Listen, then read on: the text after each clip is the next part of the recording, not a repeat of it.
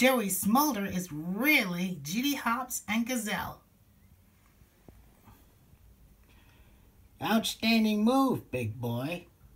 And now it's time for this unicorn to withdraw her horn.